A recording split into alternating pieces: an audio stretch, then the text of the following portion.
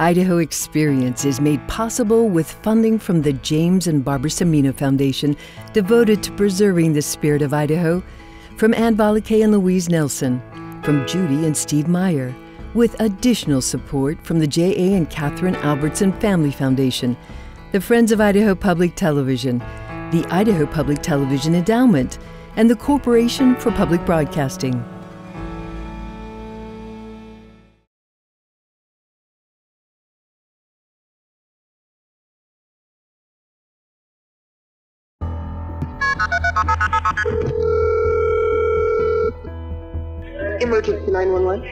Is Laurie Peters. My husband just spotted a lion up behind our house. And then he goes, There it is. There's an African lion. And he was looking straight at me, and I was looking straight at him, and we just eye to eye. The cats apparently broke out around 10 o'clock, severely injuring Bob Fieber and Dottie Martin, who owned Ligertown. They don't teach that in law enforcement. There isn't an academy thing on what do you do when, when you have lions in your jurisdiction. And it's now dark, and everybody's armed, and everybody's on edge.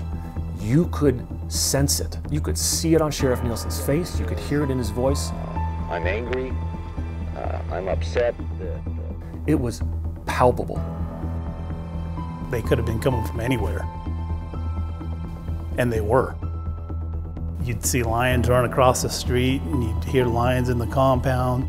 You'd hear lions behind you. So you weren't sure exactly what to do other than be on your guard.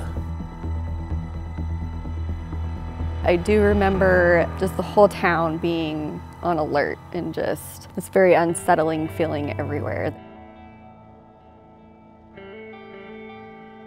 He was just nasty to be around and surly, and I think it was because he knew that his venture was failing. And I think that's what set him off.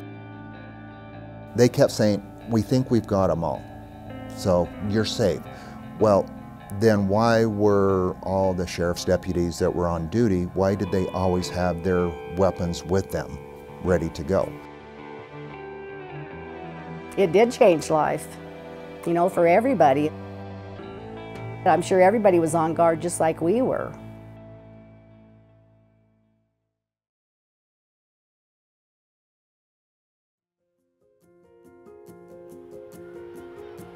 The evening of September 20th, 1995 started out like any other for those that lived in and around the town of Lava Hot Springs, a small town in eastern Idaho, south of Pocatello.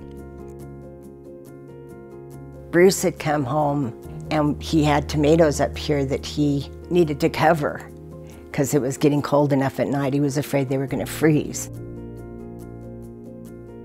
As he pulled into the drive here, a lion just walked right past the car. A big African lion walking a stone's throw from where Bruce Hanson and his wife Colleen owned land. It was also next door to Ligertown, a compound that housed exotic cats and hybrid wolves. Bruce came home and he says to me, he says, the lions are loose. And I says, what? And he says, the lions are loose. And I says, lions? I mean, it didn't even dawn on me. And he says, the Ligertown lions are loose. The lion Bruce Hanson saw was one of several that escaped Ligertown. It was the start to eight days of terror that would put Lava Hot Springs on the map with national media attention. It even inspired a memorable scene in a famous movie. It's pretty much my favorite animal. It's like a lion and a tiger. Before it was over, at least 18 cats were killed in one of the strangest chapters in Idaho history.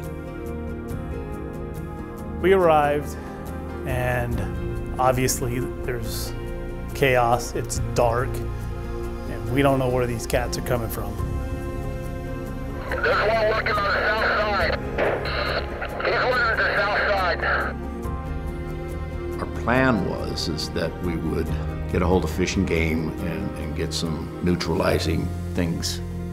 We're used to doing 150 pound, 200 pound mountain lions. These were double that weight, if not more. and the, the shots just didn't work. We think one's down, but there's one still sitting there looking at us. Our intention wasn't to kill these animals, but it was to protect the public. Deputies found Robert Fieber inside. He had tried to stop more lions from escaping when one of the lions attacked him. My officer was up on top of the compound. Uh, Mr. Fieber was in a kind of an alleyway and he had been attacked. He had wounds on his face and I think on his arm. He was very, very afraid. The officer was able to make it so that we could get him out. The biggest concerns that we had were school was starting in the morning. We had about four or five hours.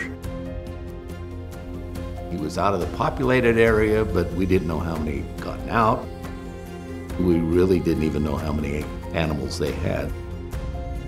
Lava Hot Springs is less than a quarter mile away. Most who lived in the small town were unaware that lions had escaped. The sheriff's department called like 3.30 in the morning and told all the residents in town to bring your animals inside and protect them because there'd been a breakout at Ligertown. Law enforcement worked all night to contain lions that escaped. Deputies and Fish and Game didn't have tranquilizers that would incapacitate a full sized lion. It was believed that for the safety of the deputies and the public, those lions had to be put down. 15 lions were killed that first night.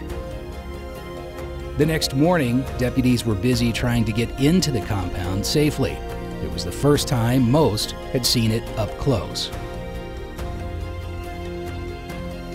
It's hard to come in here and ask them to risk their lives, literally. We seized it and obtained a search warrant and went in and processed it. And at that point dealt with the animal cruelty issues and uh, several other violations that we found once we were in there. Inside, dozens of lions were still in cages not adequate to hold these large cats. Deputies found a maze of small hallways sandwiched between cages. Some paths led to dead ends. Others meandered deep into the center of Ligertown. Yeah, you got it? Yeah. He no longer had access to some of those inner cages because they were all adjoined now. And so I don't, I, I don't believe he was able to feed them or water them appropriately because he couldn't get to them all. Lions also managed to climb onto the roof overhead. And at one point, one of the female lions jumped down in the walkway and trapped us in the trailer, and they had to shoot that lion. We were able to get the cubs out. And then, then came the process of rescuing everybody that was left inside the compound, as well as documenting all those that had escaped and were killed, and documenting where they were at. Where were they getting out at? Yeah, that's the hole that they patched a while ago. Yes. The lions were getting out for a period of time before the incident happened. Because there was trails coming from the compound down to the water in the creek down below. Trails that led directly to Fish Creek and back to Ligertown. Inside, bones, feces, urine, broken fence, and items the large cats used as toys were scattered all around the yard. The stench was unbearable of lion feces and urine. The urine of a big cat is just so powerful, and you're talking about years worth of big cat urine. Troy Schrader worked at KPVI News 6 in Pocatello. So you'd put your camera up on your tripod and you would shoot towards the compound, and at the first days, we could see the lions, the few lions that were actually up on top. It didn't take long for the story to spread to news stations across the country. We had people from all over the world that were interested in it. And we had to take care of that, and that was pretty much my assignment, is to work with the media. We were able to get a cattle truck, that's a bigger truck that has sights on it, uh, no top. We were able to have them load their cameras in. It was kind of a horrific scene for if you're not used to that kind of stuff. And it did go to worldwide. A lot condemning us how we did it and a lot praising us for doing it and those type of things, which is normal with that kind of stuff. Sadly, this wasn't the first time lions escaped from Fieber and Martin. The two had tried at least twice before, once in Oregon, the Siletz Game Ranch, in the early 80s. And he was kind of an environmentalist. He came here from Oregon, and it's our understanding that the people in Oregon kind of shut his animal project down, and so he was forced to leave Oregon. Fieber had moved some of the big cats to Idaho County, an area known as Clearwater, north of Grangeville. The summer of 1986, a lion managed to escape and killed a neighbor's horse. Several other lions were in poor physical condition due to lack of food and water. That's how Fieber ended up here. It's believed he brought 14 cats and six wolves with him. His facilities were mainly old boards that he had found and chicken wire.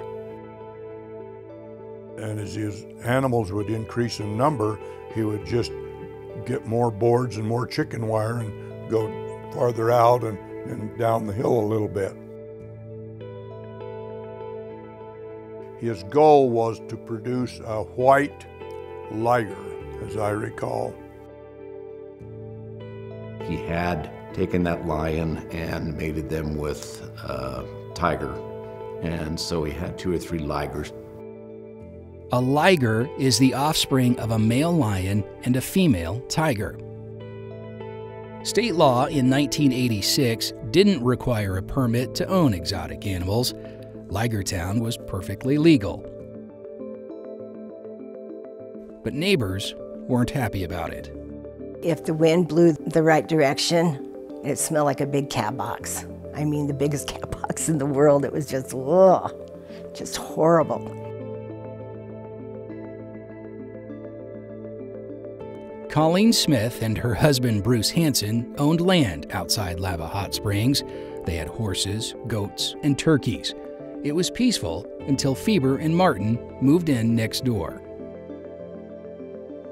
They were pretty personable people when they first showed up, you know, and they were nice and and they were trying to get their business going and and that was all well and good until he got so big.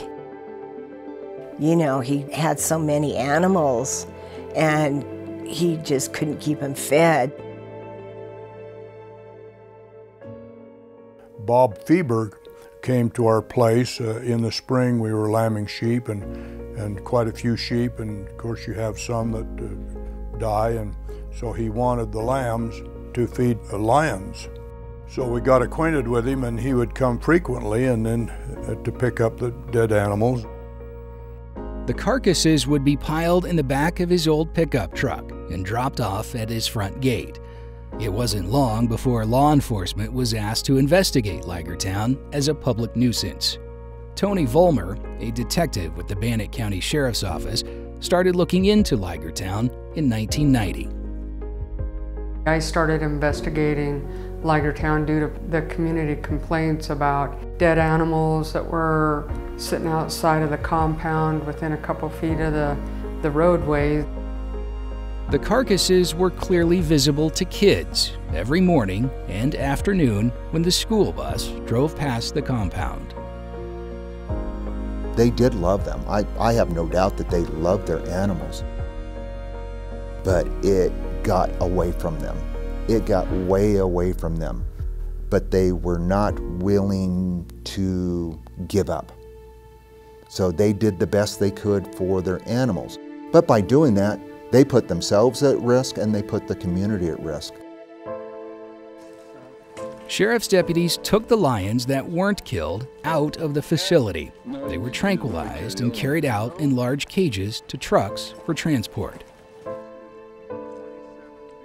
When you're standing right next to the body of a lion, then you start to realize how big these animals are.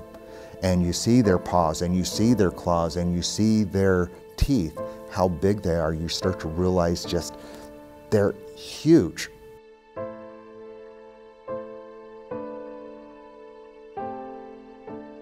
Many of the wolves and lion cubs were transported to local zoos. Help with the large adult lions arrived the morning of day three.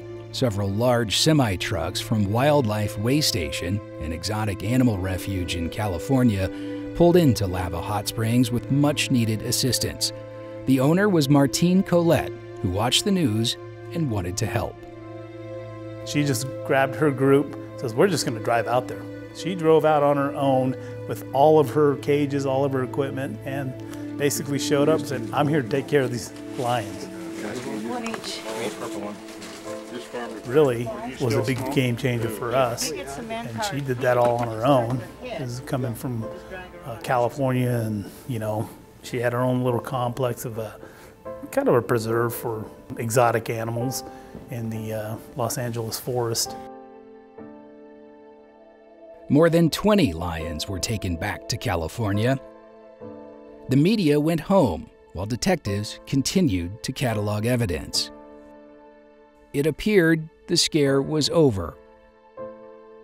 But on day eight, someone spotted another lion near Lava Hot Springs Elementary.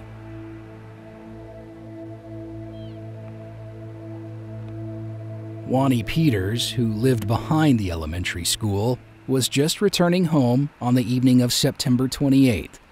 Peters was driving his truck up Dempsey Creek Road toward his house when he noticed something was off. We were coming up from downtown. We was down there visiting and we was coming up the road here and I had my horses over here in the corral and they were just really stirring. I mean, going crazy like I hadn't seen them before. His kids were jumping on the trampoline between the house and the horse corral.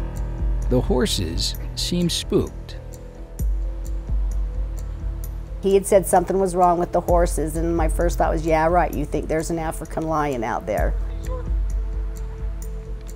I went back down and looked at my horses in the corral, and they were looking up the hill now, not right here behind the house. So I went back up on my balcony and was watching, and, and I seen a glimpse of a two-tone animal going through the trees, and I told Lori, there's an African lion in our backyard. He goes, there it is, there's an African lion. So I got right on the phone with 911, and he was on our balcony, and I was on the phone talking to him through the window, um, giving him instructions and, you know, talking back and forth between dispatch about it.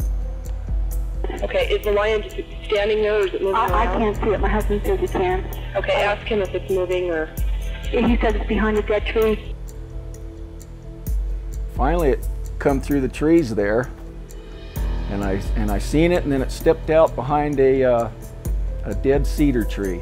It was just just dead branches, but its body was behind these branches, and just his head was sticking out. And he was looking straight at me, and I was looking straight at him, and we just eye to eye, and probably seemed like forever, but it was probably five minutes we eyeballed each other. It was getting so dark, I told Lori to tell 911 that I have to take a shot. Where's the shot? Uh, rifle. Oh, it's running. I see it running. It's gone. So I took the shot, and it went up the hill a little ways, and it disappeared, and and Lori was going, oh no, you missed, you missed, because she finally seen it then. He wasn't happy with me. He goes, I couldn't have, you know, and because uh, he's hunted all his life and he's the expert shooter.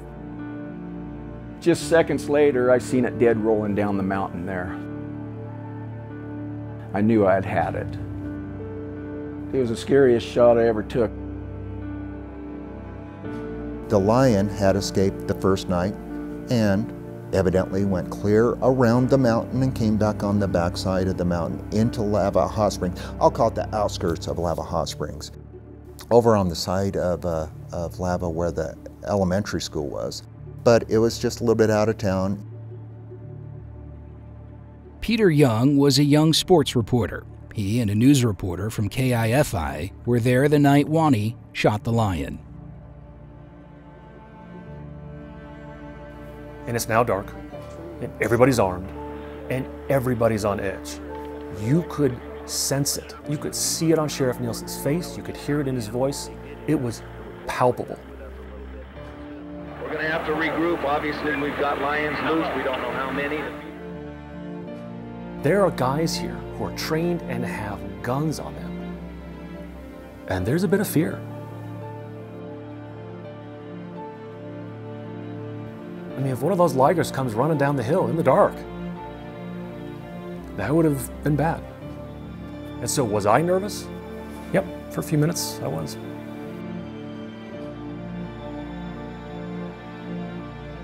So immediately you start saying, well, if there was one still loose, is there still more loose?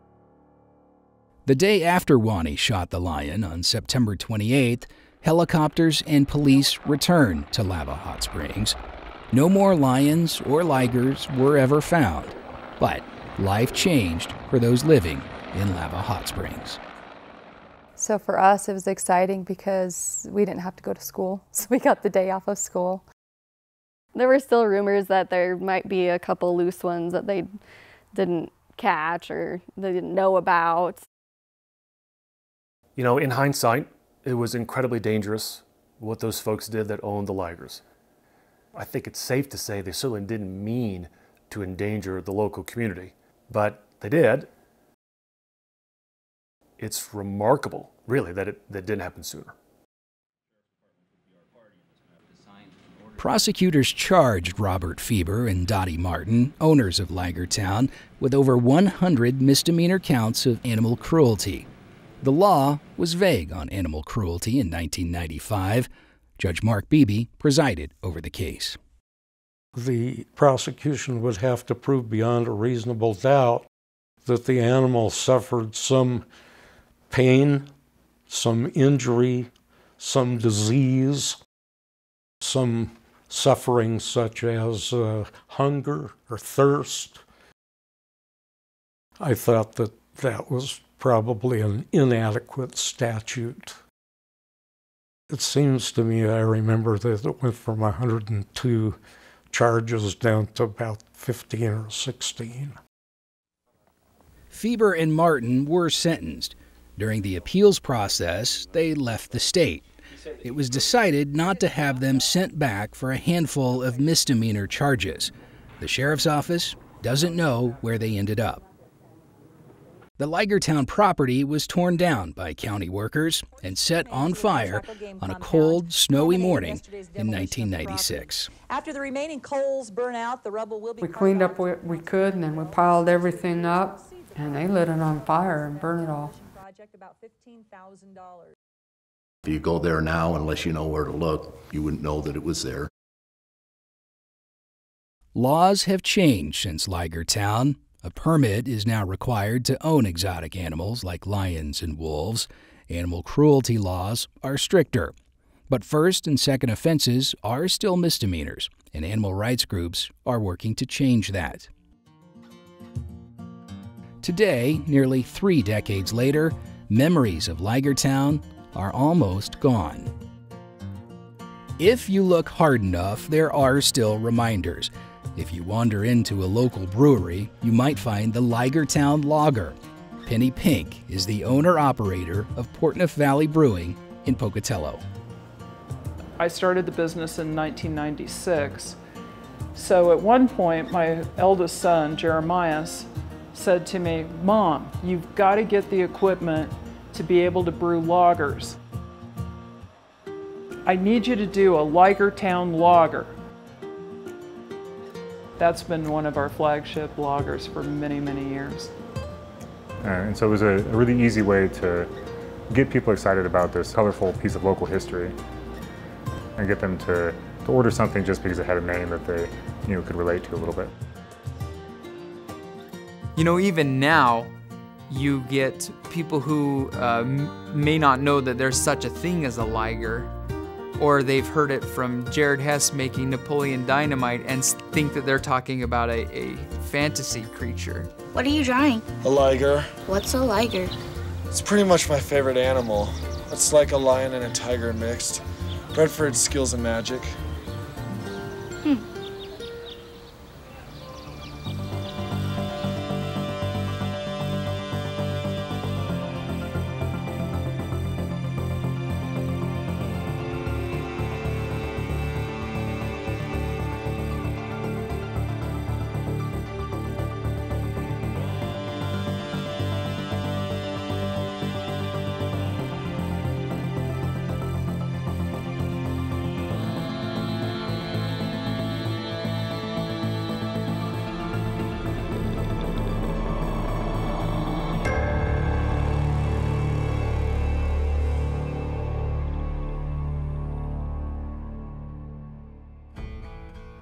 Idaho Experience is made possible with funding from the James and Barbara Cimino Foundation, devoted to preserving the spirit of Idaho, from Ann Balakay and Louise Nelson, from Judy and Steve Meyer, with additional support from the J.A. and Catherine Albertson Family Foundation, the Friends of Idaho Public Television, the Idaho Public Television Endowment, and the Corporation for Public Broadcasting.